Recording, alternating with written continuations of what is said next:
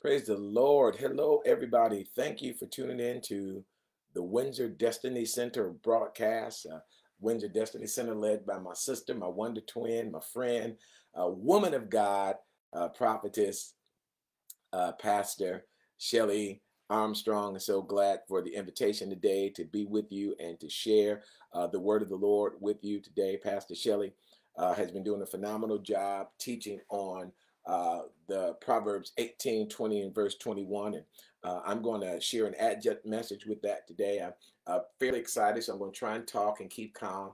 Um, but I get excited about the Word of God, and and Amen. I hope that uh, this is a blessing to you. Uh, and so today, um, I want to talk to you about unlocking the power of your words. I need to let me set a clock so I can know what what I am doing here. Um, hold on one second. I'm so sorry. All right. I want to talk to you about unlocking the power of your words to access God's power. Again, unlocking the power of your words to access His power.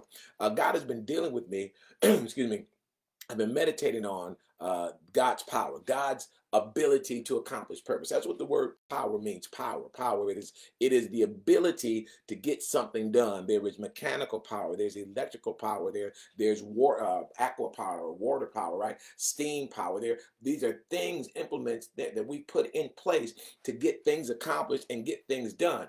Well, you and I have have access, if you will, to God's power. We have access to His ability to achieve purpose. Excuse me God has the ability to do anything. It doesn't matter what what it is. It doesn't matter what you and I need. It doesn't matter what the circumstance situation is. It doesn't matter what's going on. It doesn't matter who agrees. It doesn't matter who doesn't agree. God has the ability to get things done. I, I appreciate the fact that God does not need to consult my past to determine my future. Uh, what God needs to consult is my heart. He needs to consult my faith. He needs to consult my belief. He needs to consult what I'm trusting Him for to for me to access my future that He desires, the destiny that He has put in front of me. God doesn't need anything. Why? Because He has the ability to handle it now. I get excited about the fact that that that whatever life is throwing my way, that God has the ability to deal with it. That God God has the answer. God has the solution for whatever uh, is being thrown my way as far as life comes. Ephesians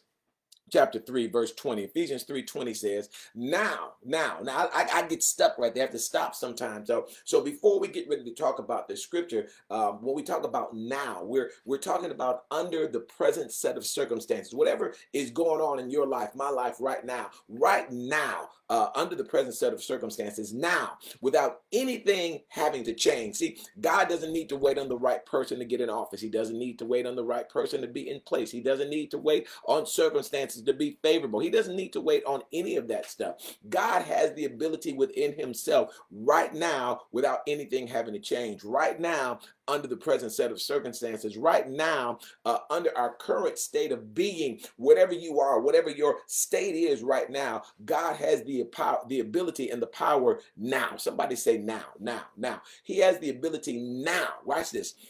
Ephesians 3:20. Now unto him that is able to do exceeding abundantly above everything we can ask or think. Let's build that again unto him, right? The the, the faith, the, the trust, the hope, uh, the inspiration, all of that is unto him who is able, who is able, uh, and I want to throw a word in there, and willing. He's not only able, but he is and willing to do, build it now, exceeding abundantly above anything you and I could ask or think, how is it going to happen?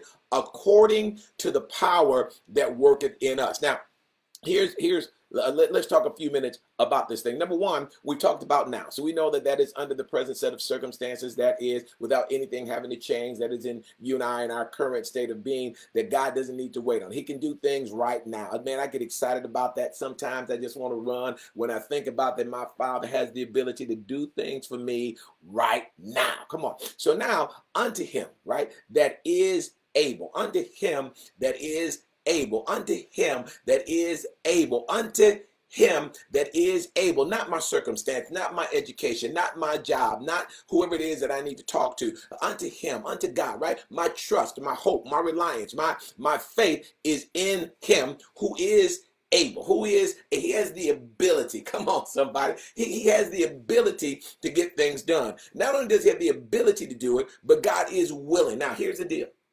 We need to get a revelation that he's willing. We, we, we you, know, we, we kind of done a, a decent job uh, in the church with teaching people about God's power, about teaching people that God is able to do. We, we kind of got people's mindset that maybe, maybe God can get something done for me. if if I can flick this faith switch right, if I can believe this way, if I can get a corresponding action, whatever this thing is, we kind of got people believing that we can now, that God has power to do stuff, that God has ability. Uh, the question that many people is, will God do it for me? Will God do exceeding abundantly above anything that I personally ask or think? Or is that for somebody else? Now, you may say, preacher, come on now, that, that's not true. Listen, I've had people tell me, come to me in my face when I get out of the pulpit, say, hey, God is supposed to do that for you because you're a preacher. Can I tell you that this, that what faith, what God will do for one through faith, that God will do for another through faith, that God is not a respecter of person. He is, however, a respecter of your faith. And that's why Pastor Shelley is reminding us of our words. And while we're going through Proverbs 18, uh, 20 and 21, we're going to get to that scripture in a moment. But, but I want to talk to you again right now about God's willingness to move on your behalf. I think because before we can speak our words, before we can have trust, we need to know that God is willing to do it for us. Romans 8 20, uh, excuse me, 8 32 says that, that if he has given his son Jesus, he didn't, he didn't hesitate to give him Jesus, how will he not with Jesus freely give you and I all things? I'm telling you, he's willing to do. Let's let's look at a, a couple of scriptures really quickly, uh, just to establish this fact that God is not only able, but God is also willing to do for you and I there is a, a, scripture found in Luke chapter 17, verses 11 through 19, and it's the story of the 10 lepers. And we'll condense for time's sake, but, but it's the story of 10 lepers that went to Jesus and said, Watch this now, here's your phrasing if you will, if, come on now, if you will, if it's your will, if you're willing to do this for us, if you're willing to do this for us, we believe you have the power. The question we have is, are you willing to do this for us? And so they went to Jesus and said, hey, if you will, uh, make us whole. Jesus said, go show yourself to the priest, which is what was prescribed in that day for them to be uh, medically uh, excused and put back into society. And the Bible says that the 10 lepers went. And it says, as they went, watch this now, they get more on the way than when they start. They get, come on, they got more on the way than when they started. The Bible says, as they went, that they were clean. And, and, nine of them, the Bible says, went on and, and, and showed themselves to the priest and did whatever they were doing. Excuse me. But one of them came back to say thank you.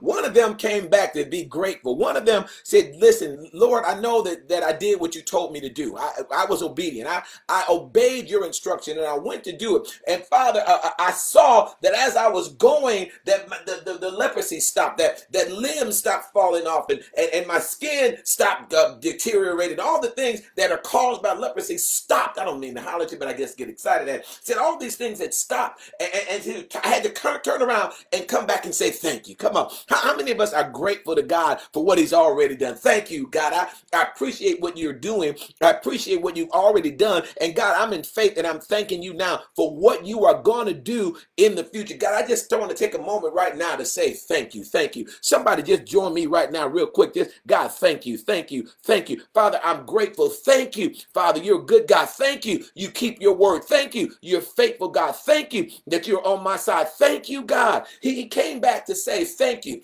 And Jesus said to this one, where are the other nine? That, that's the first question. I, I've done more for people, for more people than just you. I, I've blessed people more than just you. I, I don't know about those other people, but God, I'm going to be the one to come back and tell you thank you because I certainly appreciate all that you've done for me and all that you are doing in my life. And Jesus said to that one leper, He said, Listen, you've come back to say thank you. And because of that, son, you will be made whole. Now, now, now the word whole there, uh, you know, these other lepers, the, the leprosy stopped growing or uh, uh, uh started affecting their body, the ravages of it stopped and all that stuff, I believe, was in place. But this one, the Bible said, was made whole. Uh, in other words, this one now, where skin had been gone away, it now started growing back. Where damage had been done on the inside, it had now been repaired. Why? Because he was made whole because of his gratitude and saying thank you to God. But listen, that's another message. That's another message. What, where else? can we see where God was willing? Well, where there was a woman with an issue of blood. Come on, somebody. Uh, and the woman got up and she said, she said, because I'm talking about words to access the power of God. This woman said within herself that if I can just touch the hem of his garment, I will be made whole. She she had faith in the provision of God. She had faith that God was willing to move on her behalf. She said that she just needed to get in proximity to where the power of God was moving. Listen, I, another side note, side note. Some of y'all need to get your butt back in church. Oh God, some of y'all need to go to the assembly of the saints. The Bible says to forsake not the assembling of yourselves together as the manner of some is, but so much more as you see the day approaching, get yourself yourselves together. Again, let me admonish you, get your butt. If you've not been, get your butt back in church. So this woman said now, if she said within herself that if I can touch the hem of his garment, that I will be made whole. She didn't have a question about God's power. She didn't even have a question about God's willingness. What she had a question was, was can I press to the point that I can get close enough, come on, to touch the hem of his garment because I know within myself that he is able and he is willing to do something for me. So the Bible says that this woman pressed her way through the crowd. Now this woman broke the law. She was had an issue of blood. She was not legal to be out in public. She was not legal to be out in society. Uh, Jewish society at the time said that she was unclean. But the Bible says that this woman pressed her way through and she got up to where Jesus was and she touched the hem of his garment. And watch this now virtue went out of his body and the woman was made whole of that disease. Why? Because she said, words now, she said to herself, if I can touch the hem of his garment, I will be made whole. Watch this. One more. Uh, uh, this one is found in John chapter 5, verses 1 through 16. This is the man at the pool of Bethesda. Now, quickly, that story is about uh, an angel would come down once a year and, and trouble a pool. And the Bible says that whoever touched into that pool first would be made whole of whatever disease they had. So it didn't matter whether it was leprosy, you know, whatever it was at the time, that if they were the first person to step in, they would be made whole. Well, this man, um, was approached by Jesus. Come on now, I, the God, that you talk about willingness, willingness. This man, the Bible said, had been there for years. I, I, I believe this man had been there for 12 years, right? Coming uh, to get this, hoping to get in this pool. And God shows up to him, Jesus, who is willing. That's the point I'm trying to get you now, that God is willing to exercise his power on our behalf. That, that he said to him, Will you be made whole? Uh, and now be, the man didn't answer the question. He didn't say yes. He didn't say no. He said, listen, I got no man to put me in. He started making excuses. I have no man to put me in when the water is troubled. Uh, he was answering in a roundabout way, but it wasn't a yes or no answer. Jesus like, dude, I didn't ask you uh, if you had a man to put you in. I didn't ask you if you had help. I didn't ask you about the circumstances that are going on around you. What I asked you is, do you have a desire, come on somebody, to be made whole? Do, do you have a desire? You and I right now, I'm talking to us now. Do we have a desire to be made whole? Do we have a desire to allow God to get into our lives and to make us H O W H O L E to be made whole, to be made whole? So, so the the man, uh, you know, long story short, Jesus healed the man, and the man got got healed. Again, I just want you to know, based on Ephesians three twenty, this is just a little biblical evidence that God is not only able, but He is willing to move on our behalf. Now, I want to uh, get. I've got pages of notes. But uh, as I was going over this, I found that I was preaching the objectives. So I'm going to just do that. I'm going to just teach the objectives and uh, maybe Pastor Shelley will invite me back and, and I can complete some more of this. But, but again, now I've been fascinated captivated recently, if you will, by this this the, the, the, the fact that God has given us power, that, that God has made his power available to us, that, that God wants us to, to utilize the power. He gave his power for us. Jesus died so that you and I can have access to God, not just to get to heaven, but he wants us to have access to God and to the things of God. How do you know that, preacher? Well, the Bible says that when Jesus died, that the veil in the temple was rent in two. That was symbolic of the Holy of Holies was no longer there, that we can now freely walk in and access God. Come on, I, I don't know about anybody else, but, but I can't get to the President of the United States or any of these other countries. I can't get to people, uh, presidents of companies and all these other places, but I can walk into the prayer closet and get in with the emperor, creator, owner of the universe. Why? Because Jesus died so that we could have access, access to that. Now, Pastor Shelley has been uh, using as a core scripture Proverbs chapter 18, verses 20 and 21. Uh, and it, it, says that uh, power, the power of life and death is in the tongue, right? Uh, the power of life and death are in the tongue. So, so objective number one that I want to share with you today is uh, that we need to understand the power of words. That that we need to understand. Remember now, the word uh, power means the ability to achieve purpose. So we we need to get a revelation of the the power or the ability of words to achieve purpose. That that that words we need a revelation that words carry power. Let, let, let's say that again now. Words carry power. Words were engineered, words were designed, words were created to carry power. Words, if you use a word, it can hurt somebody's feelings. Words, depending upon how you use a word, can fill somebody with great joy. Words, depending upon how you use a word, can, can weigh on, on somebody, uh, build pride in somebody. I remember I was in an organization one time, and and uh, this now this this is not uh, the Christian way of speaking, but uh, there was one of the, the the gentlemen that I looked up to. Uh, he would say stuff like "good you know, and he would use an expletive behind that. McCloud, good, right? And I, I lived, right? I was, man, I was hanging out, waiting on him to give me those words. Why? Because he was somebody that I looked up to, and those words affirmed me. And when he said to me, good expletive, McCloud, man, I was on cloud nine. Uh, uh, God told us that you and I can speak to a mountain and that mountains could move. We could speak to mountains and mountains could move. Why? Because words carry power. Words carry power. So, so, so the first objective, the first thing I want us to, to do is to get a revelation an understanding of the fact that the our words have power that that words were designed engineered if you will by god to carry power proverbs again 18 20 through 21 that uh, teaches us that the power of life and death is in the word, right? Death and life are in the power of the tongue, and those who love it will eat its fruit. This is uh, New King James Version, uh, right? That what that's telling us is that we should shape our that the words have the ability to shape our experiences, both good experiences or bad experiences. I, I remember one time I was in college and I was not feeling well in my body, and we had just read a book. My my roommate and I had just read a book by Jerry Savelle called "The Devil Can't Steal Your Joy; He Can't Steal Your Goods." And so I was laying in the bed, like, you know, I'm a milker, right? If I, be, before I learned to walk in faith, if I was sick, I was, oh, you know, you might well just gave me a little bell. I'm to be ringing, mama, somebody come take care of me, right? Oh, I'm just horrible, right? But uh, so I'm in the bed and my roommate just opens my bedroom door, throws the book on the bed and says to me, a heal man uh, isn't laying around sick. Uh, what was he doing? He, he was telling me now, what are you saying? What are you getting in agreement with? Are you in agreement with the symptoms of your body or are you in agreement with the word of God? And what are you saying about that? Because what I was saying was, I'm sick.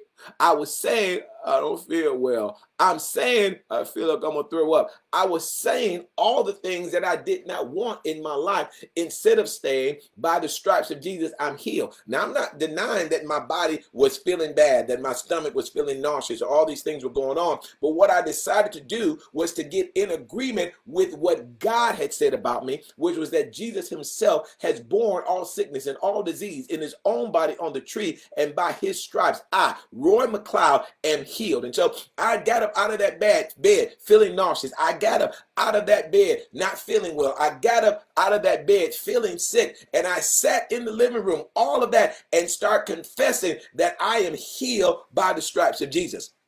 Come on. So, so sometimes we get too wimped out in our thought processes because our bodies, our emotions, whatever circumstances are going on. And instead of getting in confession or in agreement with the word of God, we start getting agreement with our circumstances, which uh, again, uh, the words that come out of our mouth begin to shape our experiences. Whether those experiences are good experiences or bad experiences are going to be determined by what we say out of our mouth. I was in in Rome a couple of years ago, and uh, I was on a train riding from one point to the next point, literally a three minute ride on this train. And I put my phone in my pocket inadvertently.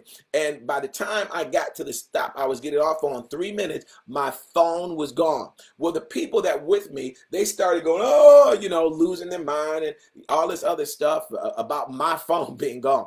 And, I said to them, no, no, no, I am here to enjoy myself in Europe, and I'm not going to let a phone being stolen stop my joy. Come on, somebody. Well, what happened? I had learned that that the power of life and death was in my tongue. That I could get an agreement with them. I could get an agreement with what people say is okay. I could get an agreement with all that stuff and start ruining my trip to Europe. Now, wait a minute. I done paid thousands of dollars to get here. I'm gonna be spending thousands of dollars here. I'm gonna be spending a bunch of time here, and I can either ruin this trip because somebody decided to steal my phone, or I can get an agreement with God that God supplies all my needs, including the phone, that God is going to make sure that I'm safe, that, that, that God is with me, even in the midst of trouble. I, one of my favorite scriptures, Psalms 118, 6, says, The Lord is on my side. Come on, somebody. I will not fear. And that's one of the things that I confess frequently, that the Lord is on my side, that the Lord is on my side. The Lord is on my side. Somebody need to get a revelation and start confessing out of your mouth too, that the Lord is on your side right? Our words our words can shape our life. Our words speak life into a situation. Our, our words can bring hope. Our words can bring healing. Our words can bring breakthrough. Our words can bring death fear or destruction. It's up to you.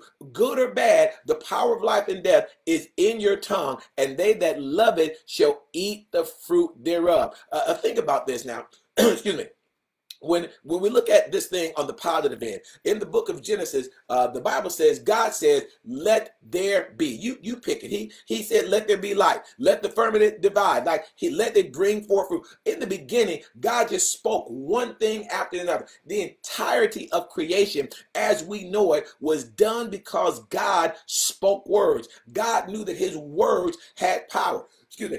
He said it and it happened. He said let there be light. And there was light right? And he did all these things. And then every day he went back to check and it said and and it was good right? God spoke stuff and it was good. What was god doing? He called things that were not there. I'm not i'm not going to teach that from romans but that's in the book of romans if we want to learn, learn that right? He called things that were not there as if they were. Let's stop that now. He called things that were not as though they were. The Bible says the darkness was upon the face of the deep, and the Spirit of God moved upon the face of the water. And God said, Let there be light. What happened? Darkness was there. What he wanted was light. So he used his words to call what he wanted. Now, notice, he did not deny the darkness was there. He didn't say, No, it ain't dark. He said, No, I can see clearly. Now, he didn't say all that. He did not lie. What he said was he got into agreement with what he wanted to happen. So he said, Let there be light. And there was light. Just like you and I can speak to our body, let there be healing. We can speak to our finance, let there be abundance. We can speak to our children, let there be peace. We can speak what calling those things that we don't have right now as though they were, or calling what we want to come into existence existence. Whole nother teaching, but we have the ability given by God because we are accessing his power to do that right excuse me so so we realize that that our words can shape relationships our words can shape our health our words can even shape our sense of purpose but we got to learn to start utilizing our mouth on purpose we we got to start thinking before we speak. We got I used to write stuff down. Like I want to make sure I'm saying this. I want to make sure, right? Like right now, since my, my roommate told me a sick man does not lay around, I that's been 30, 40 years ago. I want you to understand that that is still what I'm doing. Now, you may see me, uh, you know, if I get sick, thank God I don't get sick frequently. But if I'm sick, I might have a blanket on. I might be trying to give me some tea or chicken soup or whatever it is you're supposed to do. But I'm also confessing that by his stripes, I'm healed.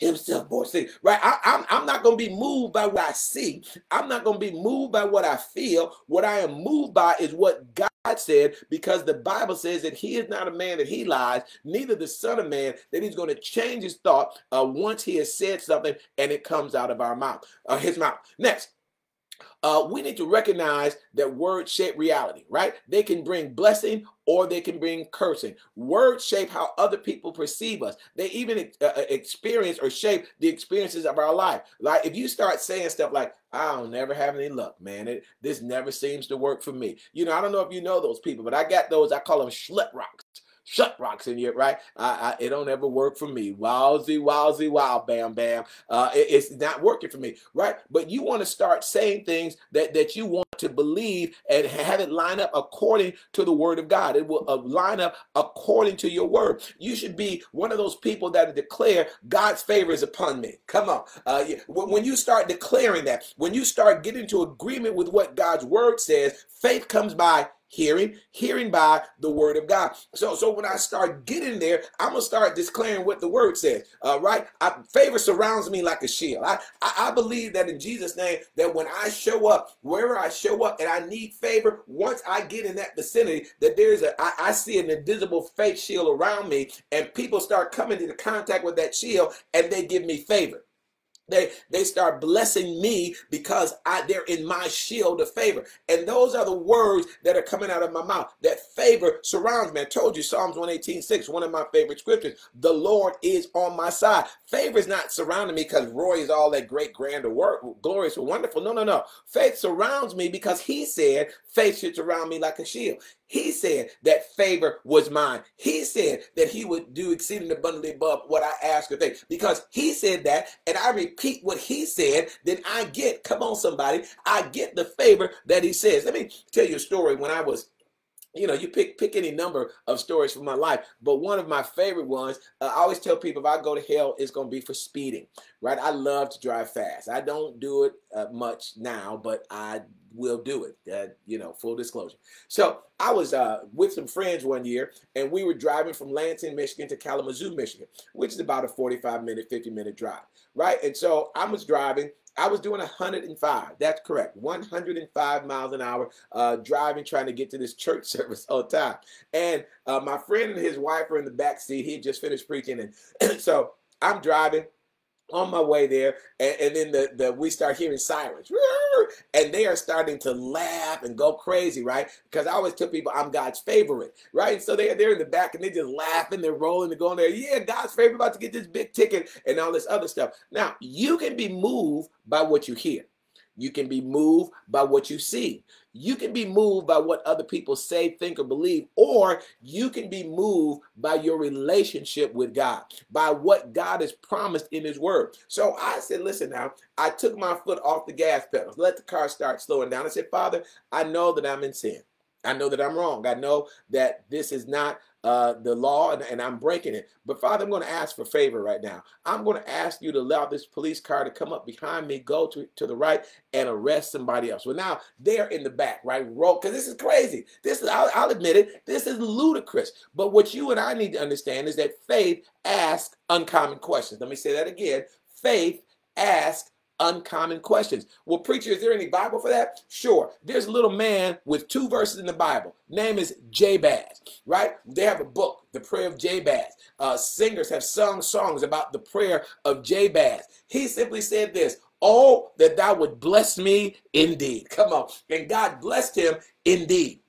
God made his blessings visible. So I said, hey, I'm, I'm going to try. And so I said, Father, thank you that you would have them come behind me, go to the right, and arrest somebody else. Well, thank God, as God would have it, God is my witness. I promise you, I'm not lying to you. This police car came up behind us, went over to the right, and pulled over somebody else's car. Why? Because favor surrounds me like a shield. That's my confession. That's what I believe. That favor surrounds me like a shield. Now, do I get 100% results? No, but I get like 97. I, it's up there. It's, it's high. I, you know, I remember another time that uh, I was rushing to get my mother's 88th birthday, and I was taking her to get her hair done, and I had to pick up somebody before getting get her, and all this stuff going on. And so I was speeding and I ended up uh, doing a rolling stop at a at a stop sign. A police car came behind me and pulled me over. And so the man started asking for license, registration, all the stuff you do. And I said, Officer, is there any way you can not give me a ticket? Now he he said, What? I said, Is there any way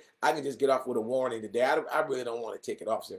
He said, Well, you've not shown me your registration. I'm like, I don't have my registration, and, and I honestly didn't have it. He, he, said, "I don't have, I don't have it." He said, "Well, I can write you a avoidable." I said, "Officer, that would be wonderful." And so the man wrote me avoidable ticket, and, and all I had to do was go down to the police station, show my registration, and everything was taken care of. What am I telling you? That there is power in your words. Like even to ask a question, there's power in your word. Why? Because God has given us access to ability and authority that we can use to shape our lives. Words have the ability, right? That's why I'm confessing that God's power is upon me. I'm confessing that God's power is with me. I'm confessing that I am the favorite of God because God really does love me. Again, we want to get this concept that our words, our words, my words, say, say that with me. Say, my words have power.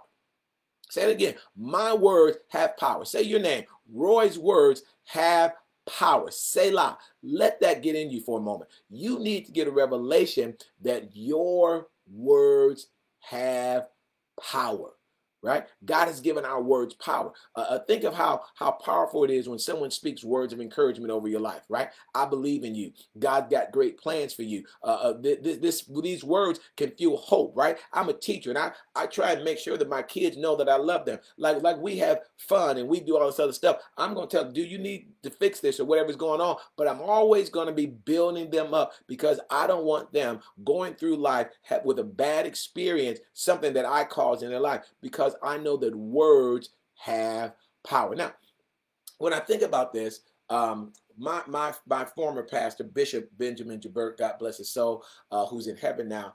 Um, I remember one time, uh, well, a couple of times, two two things. One in particular. One, he he used to call me Roy can handle anything McCloud. That man, and that that just made my chest stick out again because it's someone whose opinion I valued, someone who I wanted uh, to to please, right? And so he would say, Roy can handle anything. And so whenever he gave me an assignment, it didn't matter what the assignment was, whether I had the skill set right then, whether I had the knowledge right then, whether I had the ability right then, did not matter because I knew that he had faith in me based on what he said to me. Roy can handle anything, McCloud. I had faith. I believed that I could handle anything because he put those words of faith in me. And, and, so we, we need to understand that as, as, as people, that we have the ability to speak words of life over people. So number one, I want you to understand that your words carry power. Just say that with me one more time. My, ro- my words carry power. One more time. My words, my words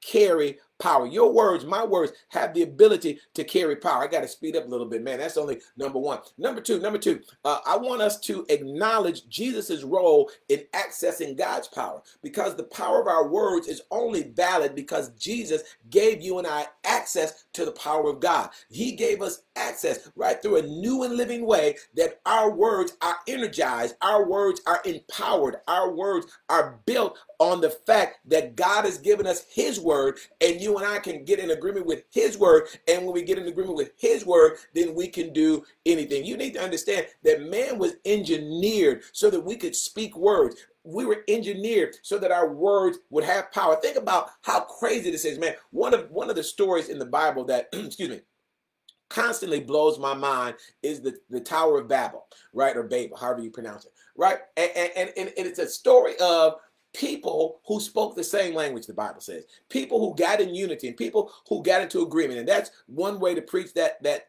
passage of scripture, right? That we got in the unit. Uh, another way is that nothing that they imagined was impossible to them. That that's another way to preach that. But man, can you get the power of the fact that because the people were one and the people could communicate that God said nothing that they imagined would be impossible to them.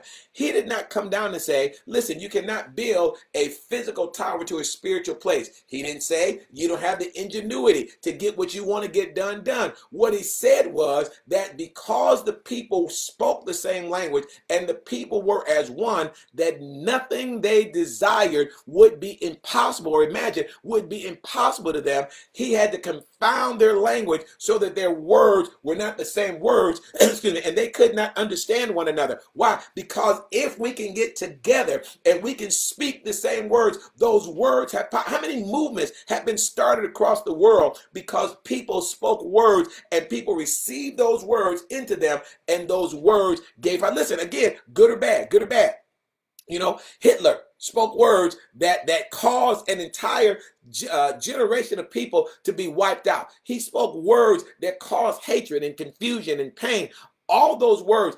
And Hitler changed the course of the world because of words that he spoke. But you got also a Mahatma Gandhi. You got a, a Mother Teresa who spoke words of love and words of empowerment, words that caused people's lives to change. We need to get a revelation that Jesus has given us, you and I, access to God's power. God's power. Mark 11, chapter uh, 20, excuse me, Mark chapter 11, verses 20 through 22 through 24. It says, Jesus said, "Have faith in God." So, so the first, the first uh, criteria here is that you and I have faith in God. We we gotta have faith in God. Really, the Greek there is have the God kind of faith, but I like it either way, right?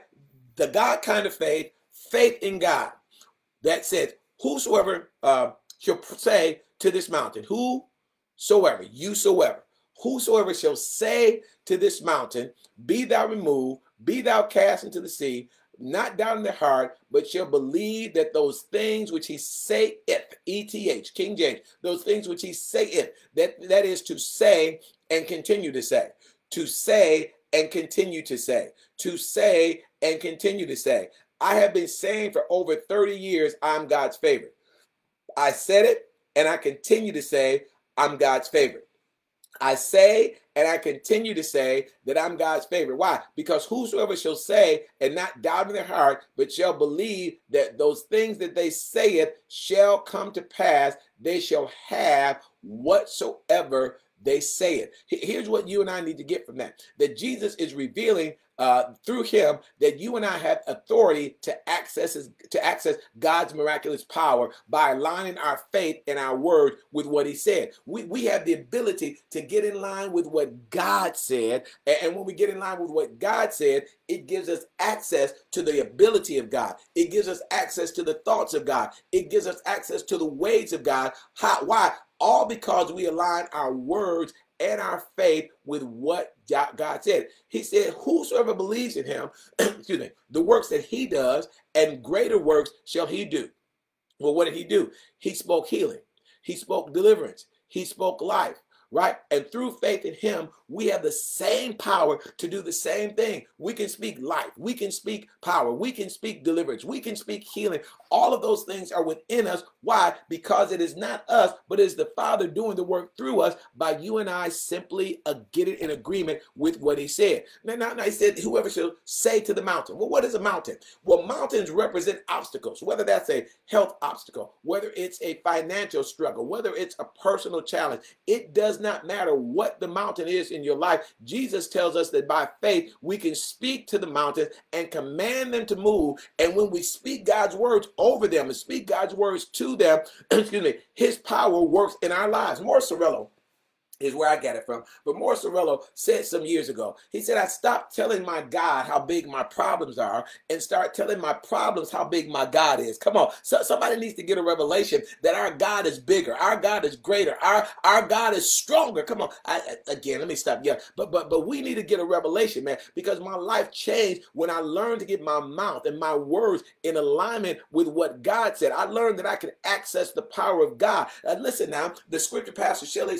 uh, for us, Proverbs 18, 22, 21, that we become comfortable with the fruit of our lips. We become comfortable. When you and I can become comfortable with speaking God's word, comfortable with expecting God based upon what he said, because we are sons and daughters uh, of, of the living God, that we have access to this power, we can speak to mountains and mountains will be moved. We, we, we have God's power. Listen, let, us say, well, let, let's use me. I had financial problems. I listen, I was so broke I couldn't pay attention. I, I was so broke that, that I ran out of money long before I ran out of month. And there, there was no way to get those two. But but what did I do? Uh, I learned that according to Philippians 4:19, that my God, Roy's God, shall supply all of my needs according to his riches in glory. Now I started, excuse me, to believe that, but I also started to confess that that my God supplies all of my needs according to his riches in glory. Now here's what you you need to get. For you and I to get supernatural intervention, faith comes by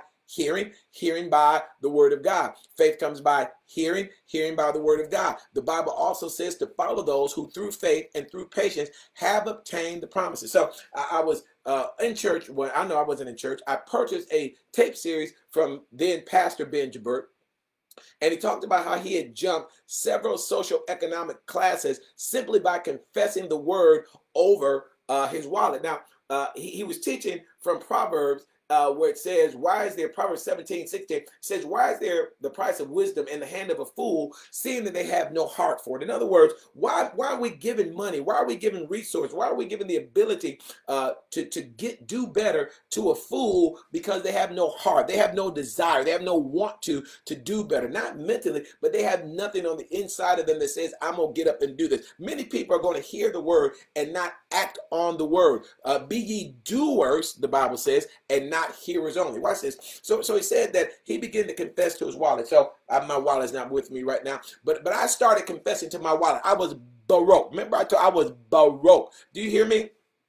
I was so broke. Uh, one year, my mom was um, in Alabama, and her brother had been uh, had died here in Michigan, and we didn't have enough money to put her on a plane. We didn't have enough money to send anybody with her. We had to put my mother on a bus. She rode the bus from Alabama to Michigan by herself with the burden of her brother's death on her. Now, now, man, that that tore me up. That broke my heart, and and I started to confess and started starting to believe. And it got to the point that a few years later, one of my mother's other brothers uh, was sick, we were at a wedding in North Carolina, and my mom's brother got sick while we were there. So we left North Carolina, went to Alabama, bought my mom some clothes, left her there for a little bit, flew her home, and then started flying her back to see her brother every couple of weeks. And then when he died, we all got on the plane, flew down there together, did the service, came back home, and didn't miss a financial beat. Why? Because I learned that my God, come on, somebody, supplies all my needs. Now,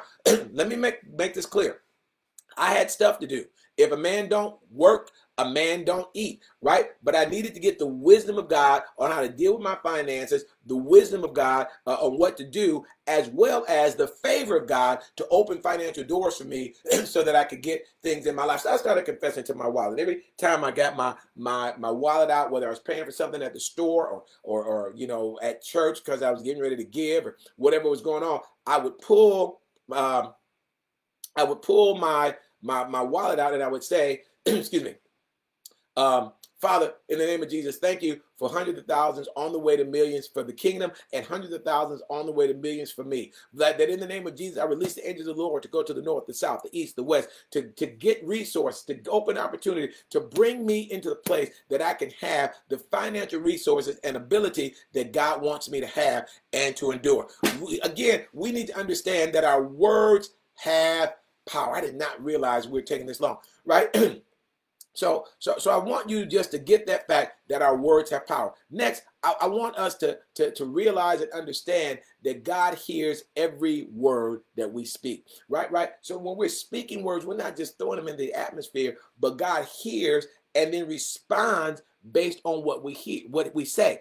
Now, now this is a revelation to me. This this helped me so much, and I pray that it helps you. And I'm gonna end on this point. But but God uh, hears every word that we say. Ezekiel uh, 35, 13 tells us that people blaspheme against God with their words. He heard it.